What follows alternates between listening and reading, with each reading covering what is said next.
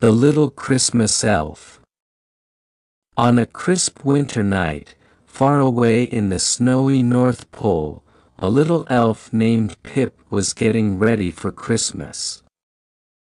Pip was a very special elf, as he was the smallest elf in the entire workshop.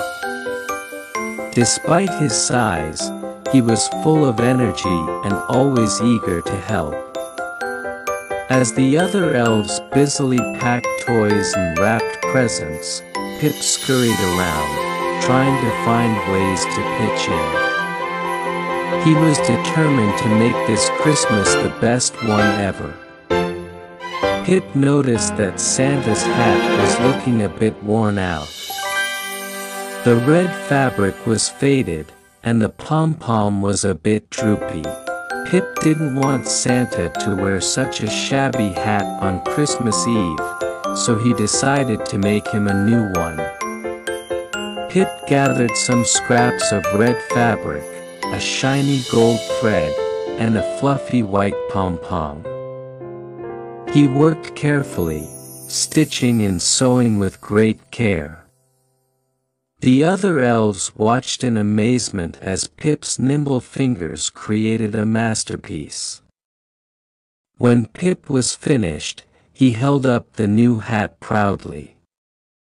It was even more beautiful than Santa's old one. The other elves cheered, and Santa himself came over to admire Pip's handiwork.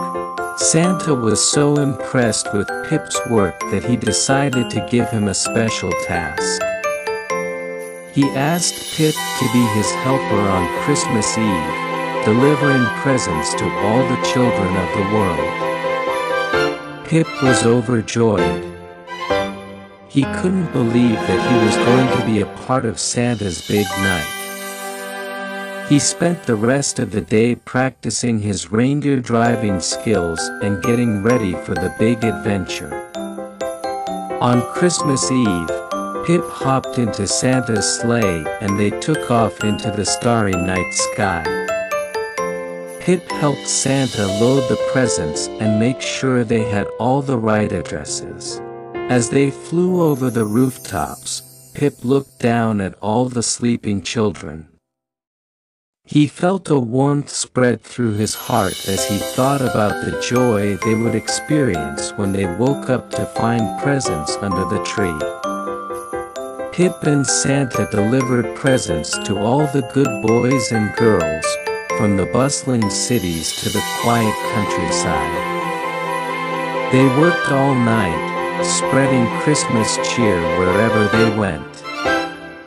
When they finally returned to the workshop, Pip was exhausted but happy. He had helped Santa make Christmas truly magical for all the children of the world.